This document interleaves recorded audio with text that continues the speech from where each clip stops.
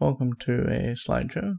I'm Lostwolfe, and we're going to do a very quick, very dry conversation about cop- COPPA and Lostwolfe's Lair, and that's me, and what you can expect going forward. So, I've got a list of things that we need to discuss, um, and the order we're going to do this is just as you see it. We're going to talk about before we get going. Um, I got a disclaimer or two to get off my chest. We're going to talk a little bit about COPPA itself. We're going to talk about what happened. We're going to talk specifically about the intent of this channel because that's somewhat important. We're going to discuss the future of this channel because that's also somewhat important. And then, of course, I have some final words. So let's just get going. So it's important to note that I'm not a lawyer. Um, and so I apologize in advance if I get any of this wrong, because it's totally possible that I get technical wording or the like wrong. And it's just important to know that I don't actually really know what I'm talking about. I'm talking about this as a layperson. The other thing, I don't really talk about my feelings a lot, and I'm gonna try my very hardest not to be emotional and silly in this video, but I do think it's worth venting my feelings on this particular occasion. Um, this whole thing to me is unreal. It's left me feeling very anxious. You may have noticed that I haven't been recording videos for the last two weeks. One week was where I was looking after my mom. She went into hospital, and I spent some time just, you know, spending time with her and helping her. And by the time every night rolled around, I was just too tired to do anything. And all I wanted to do was write because it's NaNoWriMo. So I did that. Um, then this COPPA thing landed in my lap, and now I'm anxious about YouTube, which is not a great thing to be when you want to record gameplay the way I do. So, in this particular case, to me, it seems like YouTube threw the content creators, the people making the stuff that people watch, under the bus. Because, as you'll discover when I talk about this, YouTube are the people who are collecting the data and selling the ads. I do not do that and have no way of doing that. Um, in fact, I am um, not even responsible for my ads because I can't do anything about them. I'm a very tiny channel making very niche content, and I'm glad to be doing that for you guys.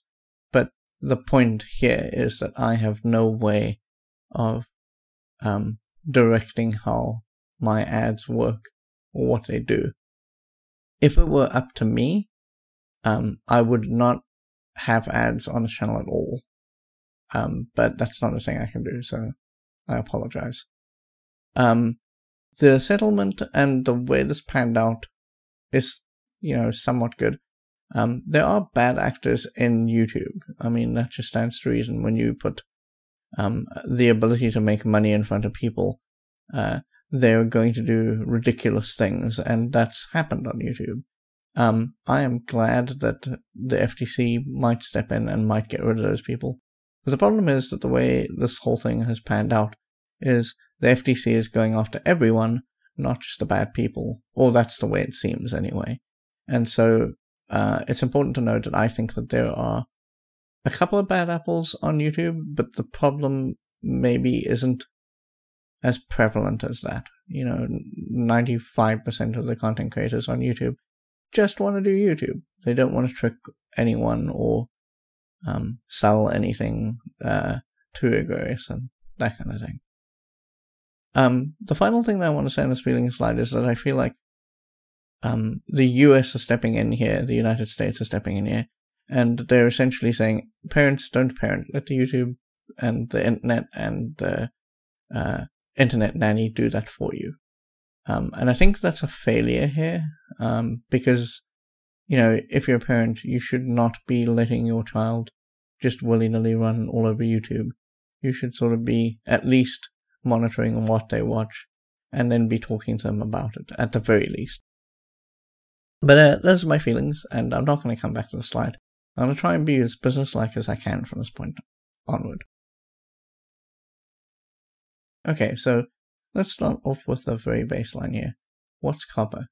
Um, let's begin at the very beginning because that makes the most sense. So, who made COPPA? The COPPA uh, COPPA is a, a law, right? That was drafted in the U.S. Congress in 1998. It became actual law that you had to uh, abide by in the year 2000.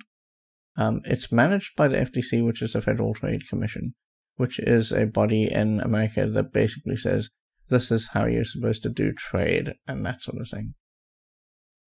So, what is COPPA uh, and how does it work? Uh, so, COPPA itself is the Children's Online Privacy Protection Act, and what it's geared to actually act on and uh, protect is people under the age, children specifically. They call them children. They are people, but children under the age of 13. So there are four things that go into COPPA, four things that you must abide by. Sites must require parental content, uh, consent for folks under the age of 13. Um, and that can happen in various ways. Some of them are very, very old and anachronistic. But the point is that you're supposed to get consent from a parent if someone under the age of 13 is going to use the website that um, they're interested in. Um, COPPA must be noted in the privacy policy, and specifically, um, you've got to talk about, you know, we're collecting information about these folks, or not collecting, or this is how we intend to um, advertise to those folks.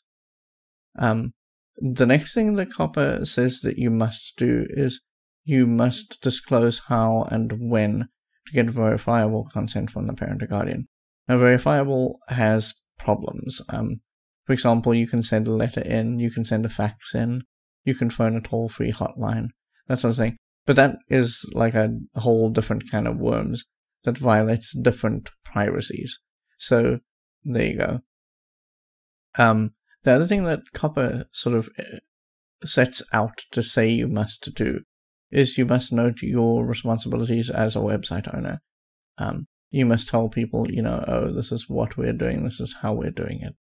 Um, there is a problem with the specific wording when it comes to uh, COPPA with regards to YouTube, in that um, YouTube are essentially the people who are running the website. They're the website owner. But YouTube is sort of trying to pass the buck onto that, uh, the, the buck of that onto channel owners, and the FTC is trying to get it so that um, people who run channels are website owners when that's sort of very far from the truth. All we do is upload. We don't own YouTube and we have no way of directing how generally YouTube works. We just work within the system that YouTube has given us. We don't own the website YouTube. Um, and so I find that whole bit in the settlement problematic, but we'll get to that in a minute. So what's happened? Um, for the longest time, uh, YouTube flew under the radar. Um, and the way they were setting this up was they were saying, oh, well, um, YouTube is strictly, there are two versions of YouTube, YouTube Kids and the actual main site for YouTube. And the way YouTube and Google were running this whole situation was they were saying, oh, well, the thing is that to make a YouTube account, you must be over the age of 13. So they um, think that the only people who are using the site are people over the age of 13. But then, sort of behind the users' backs, the people who are signing up for the website, um, Google were very aware that um, they were tracking and selling ads to folks who were under the age of 13. And uh, a whole bunch of interest groups brought this knowledge to bear on FTC and the FTC then determined that YouTube were know- knowingly tracking and selling those ads. So what happened then was instead of going to court because that would be a lengthy battle, um, YouTube and the FTC settled, and YouTube then paid 170 million dollars to the FTC as a fine for you know what they'd been doing. So the settlement went through. Um, I don't know if it's been ratified, and I'll have to look that up. But the fallout from the settlement was that YouTube then came back to the creators and then said, oh, we're going to change the upload process. And from this point onwards, what creators have to do is they have to mark the content. They have to say, oh, this is for kids, this is not for kids, this is age gated content. Um, they are also going to send out their machine learning to find content that they believe is under um, that is erroneously marked. In other words, you say that it's for a general audience. Oh, you can't do that. Sorry. Um, you say that this is not content aimed for kids at kids, and their robots will then find that and then mark it for you. And once they've marked it, you cannot change the marking yourself. You cannot change the designation, as far as I'm aware, anyway. So, okay, YouTube settled. They sent this whole process up. What next? Well, YouTube kind of passed the buck on to creators. Um, so what's happened now is that the FTC are going after channels and channel owners. They've mislabeled, or not mislabeled, they've characterized, uh, characterized us as fish in a barrel. YouTube is the barrel, we're just a fish. And they're going to, you know, sort of find and spear us. And the way this is going to work is that every time you mislabel something, the FTC comes along, they look at it, and they go, oh, well, that will be up to a 42,350 fine per video. It might not be that high, but that's basically what it could be. So if you take a channel like mine, I have close to 1,500 uploads. That becomes an astronomical amount of money and would essentially clean you out. Um, at this point, because I want to dovetail this with COPPA and my channel, right?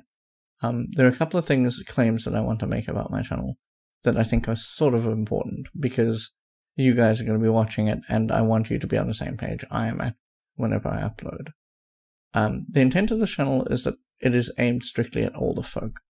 Uh, when I say older folk, I mean sort of folks in the region of 30 year old and plus who will have been aware of the 80s um, and lived through the adventure game boom of the 90s and who yearn for that simpler time in video gaming. Um, really, I think of my audience as adults, and that's an important thing here. Um, I consider myself awkwardly and selectively preservationist in the sense that I'm preserving my feelings and the gameplay of these very old games. Um, I do this in a way that I don't think is particularly conducive to people who are under the age of 13. Um, because for me, this is a hobby. So as a result of it being a hobby, I'm looking at things that pique my nostalgia very often. And the, th- the playthroughs that I do are somewhat thorough. Um, so the whole design of the way I do playthroughs is sort of method- methodical and plodding and slow. And I don't expect particularly children under the age of 13 to be on board with that for the most part. Um, I also try and do this in the calmest style I can to give folks a break from their busy lives.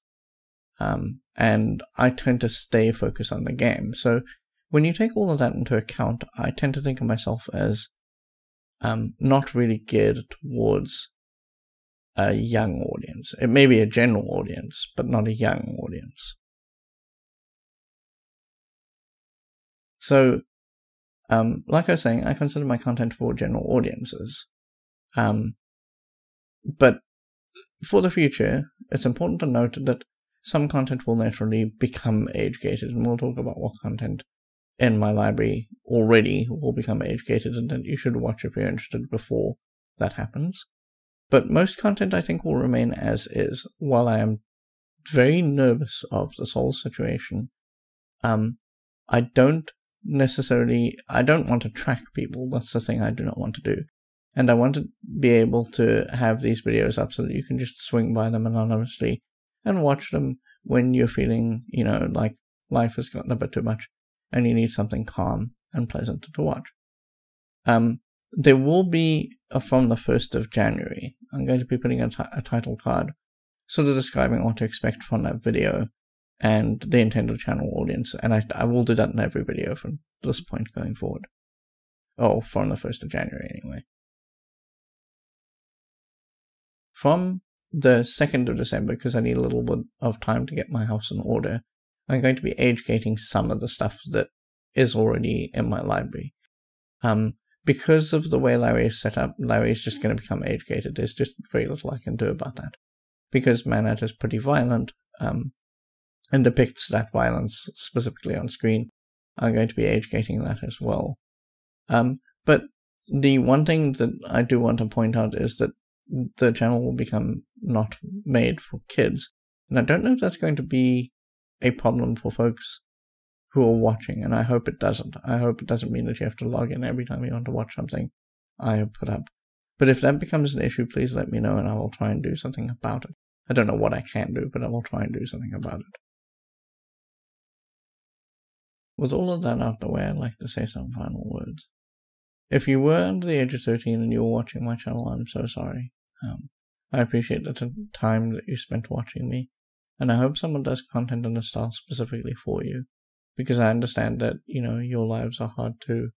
People bully you, uh, school can be stressful, and I understand that this was possibly a place where you sought refuge and we could just watch someone play games in a laid back manner. So, as I say, I do hope that someone steps in and is there and does create content like this um, so that you can watch it. That's it. That's all I have for you today. I hope everyone has a wonderful day. And goodbye for now.